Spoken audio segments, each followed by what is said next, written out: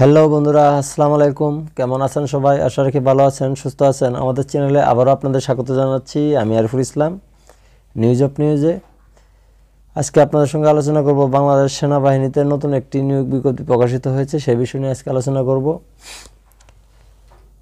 সে পর্যন্ত আমাদের ভিডিওটি প্রথম থেকে শেষ পর্যন্ত দেখার আহ্বান রইল। একাশিতম D S S C A M C পুরুষ ও মহিলা নিয়োগ।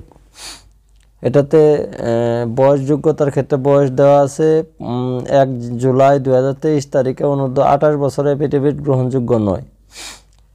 শারীরিক মান ন্যূনতম।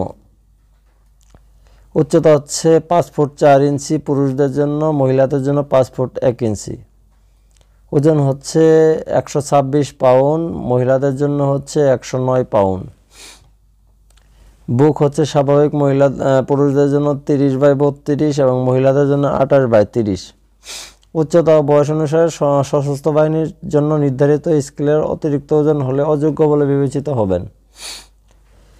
শিক্ষাগত যোগ্যতার ক্ষেত্রে এমবিবিএস ডিগ্রি সরকার কর্তৃক স্বীকৃত মেডিকেল কলেজ থেকে হতে হবে, ইন্টার্নশিপ সম্পূর্ণকারী হতে হবে। উচ্চ উচ্চ মাধ্যমিক জাতীয় মাধ্যম এইচএসসি জিপিএ হচ্ছে ফাইভ থাকতে হবে, ইংরেজি মাধ্যম, এ লেভেলে দুটি বিষয়ের মধ্যে ন্যূনতম একটিতে এবং একটিতে বি গ্রেড থাকতে হবে। মাধ্যমিক।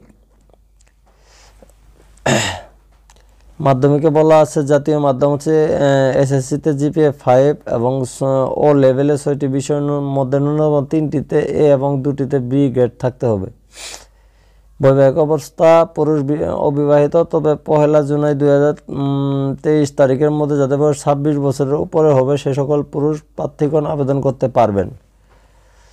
মহিলা বিবাহিত, অবিবাহিত দুজনেই চলবে। জাতীয়তা বাংলাদেশি অবশ্যই প্রার্থীর জন্য অযোগ্যতা।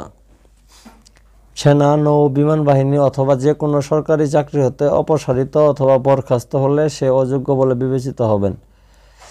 আইএসএসবি কর্তৃক দুই বছর দুইবার স্ক্রিন আউট প্রত্যাখ্যাত একেবারে স্ক্রিন আউট বা একবার প্রত্যাখ্যাত হলে আবেদন করা যাবে। তবে পাঁচবার বা পূর্বে দুইবার আহ, প্রত্যাখ্যাত হলে প্রার্থীগণ আবেদন করতে পারবেন না। প্রতিটি চোখের দৃষ্টিহীনতা দূরদর্শী টু পয়েন্ট ফাইভ ডায়াপ্টার এর বেশি এবং বিষম দৃষ্টি ওয়ান পয়েন্ট জিরো ডায়াপ্টারের বেশি হলে সেক্ষেত্রে অযোগ্য বলে বিবেচিত হবেন।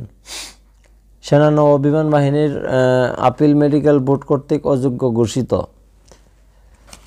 আবেদন করার পদ্ধতি হচ্ছে সাতাশ জানুয়ারি দুই হাজার তেইশ তারিখে, তেইশ হতে পঁচিশ জানুয়ারি দুই হাজার তেইশ তারিখ পর্যন্ত।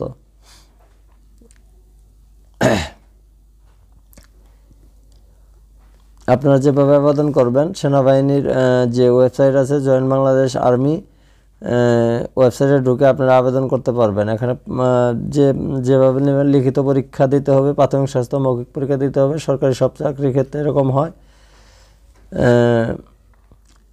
প্রশিক্ষণ ও কমিশন বিষয়ে কিছু এখানে বলা আছে, প্রাপ্ত অন্যান্য সুযোগ সুবিধা, বেতন ভাতা সম্পর্কে বলা আছে। তো বন্ধুরা, আপনারা পঁচিশ ফেব্রুয়ারি আবেদন শেষ তারিখ হচ্ছে পঁচিশ ফেব্রুয়ারি দু হাজার তেইশের মধ্যে আবেদন করতে পারবেন। তো বন্ধুরা, এই ছিল আজকে আপনাদের জন্য আমাদের চাকরির যে সেনাবাহিনীতে নতুন একটি চাকরি সার্কুলার দিয়েছে একাশিতম। সে বিষয়ে আলোচনা করলাম। তো আমাদের ভিডিওটি যদি ভালো লেগে থাকে, অবশ্যই সাবস্ক্রাইব করে আমাদের পাশে থাকবেন। আল্লাহ হাফেজ।